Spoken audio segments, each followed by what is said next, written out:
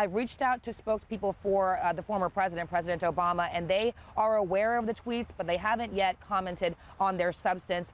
But a former uh, NSC spokesman, a former spokesman for the National Security Council under Obama, Ben Rhodes, did respond, taking to Twitter uh, to say, first, no president can order a wiretap.